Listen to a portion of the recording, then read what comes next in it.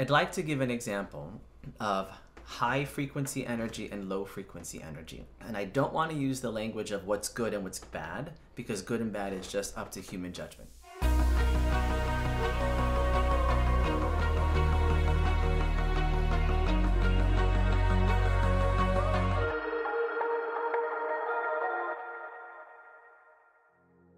I had done a session on someone, and the person that ended up coming in was a childhood friend of theirs, and they had grown up together. They were they were excellent friends, but the friend had passed, and the friend had passed by their own hand. Unfortunately, it was it was a suicide, and I have very clear uh, points that I like every spirit to come through, so that they go through this distillation process with me, and that's always if you're going to come through, you need to come through with love and with empathy, with compassion, with clarity and understanding. And if you can't come in that way, then I'm going to ask you to wait.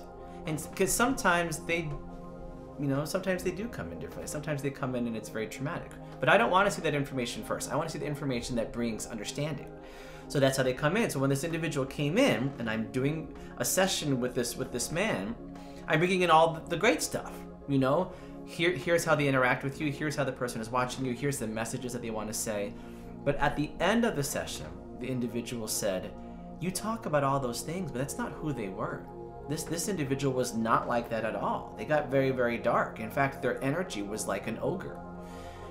And the challenging thing about hearing the living say that is the moment that he said that, the energy stamp of his friend who had passed changed. It changed very, very quick because then my brain kicks in and, I, and, then I start to wonder, oh, well, if I'm not asking them to come in through the filter that I desire, what is the filter that you see them through? And when that happened, my filter of, you know, love and empathy and compassion and clarity and understanding was gone. And what ended up coming in was energy that you know, denser, heavier material always sinks to the bottom. So that information dropped into the room. And all of a sudden I was getting all the information of all the things that were not high frequency. They were very low frequency. And I addressed it and I said, well, I don't do that. And if I ever address that energy, I will only talk about it if it gets you to be at a place where you can start to have more understanding. So I'm not going to sit with this energy.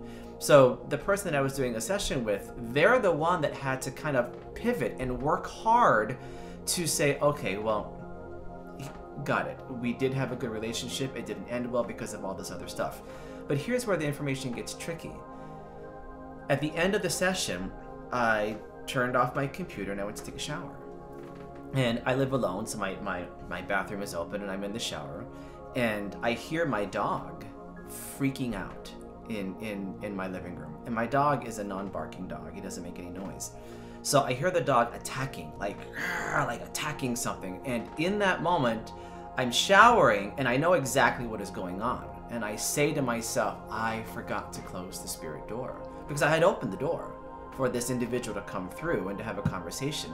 But at the end of a session, I need to send the person back with you, but I had forgotten to do that. And not only had I forgotten to do that, I had forgotten to change the filter, right? So that energetic filter was still vibrating in a low frequency, and it was in my home.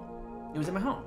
So instead of feeding my fear, which is my reaction, and I think that's most people's reaction of when you see what you think is a ghost, you are very fearful and very afraid of that of that information.